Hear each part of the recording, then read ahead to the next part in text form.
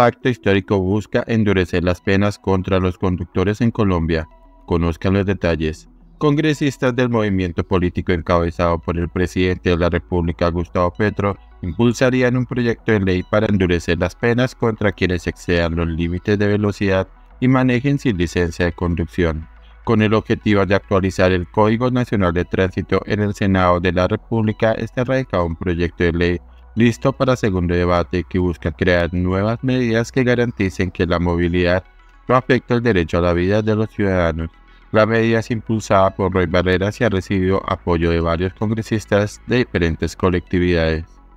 A pesar de que el proyecto de ley busca actualizar las normas de movilidad, además de reducir las tasas de accidentalidad en el país, la medida ha recibido múltiples críticas debido a la gravedad de las penas a las que se verían sometidos quienes incumplan con el reglamento. Las consecuencias de cometer las infracciones se dieron a conocer en medio de la ponencia del senador del Pacto Histórico, Pedro Flores. El congresista fue enfático en que el proyecto de ley implicaría que las personas que conduzcan su vehículo después de haberse tomado una cerveza podrían afrontar una pena privativa de la libertad. El Código Nacional de Tránsito contempla hoy en día que cometer ese tipo de infracciones llevaría a que el conductor se le aplique un comparendo además de una sanción sobre su licencia de conducción y el traslado de su carro o moto a los patios. Conducir bajo el influjo de alcohol u otras sustancias psicotrópicas. El que conduce un vehículo automotor con presencia de alcohol en su organismo en una tasa igual o superior a 80 miligramos por decilitro de sangre y o con presencia en el organismo de otras sustancias psicotrópicas incurrirá en prisión de 3 a 6 meses, sin perjuicio de las sanciones administrativas que haya lugar indicó el senador Pedro Flores en su ponencia.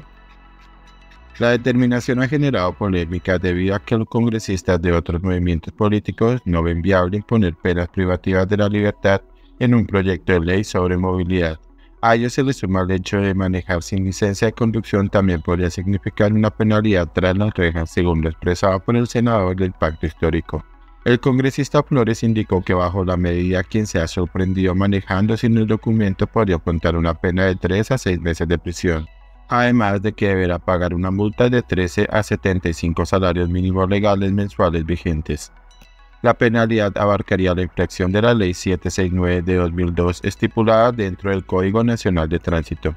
Actualmente incurrir en una infracción de esa magnitud acarrea una multa económica, pero no estipula sanción penal de ningún tipo.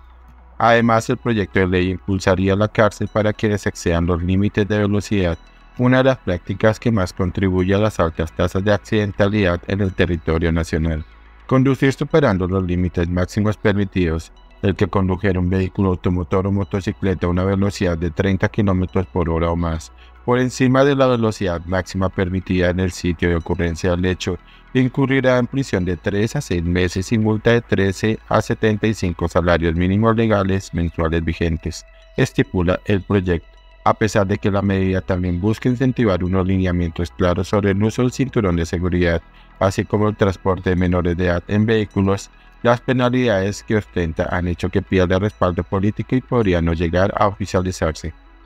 El segundo debate en torno a la iniciativa se desarrollará el martes 15 de agosto en el Senado de la República, fecha en la que se conocerá el futuro de la determinación impulsada por el Pacto Histórico.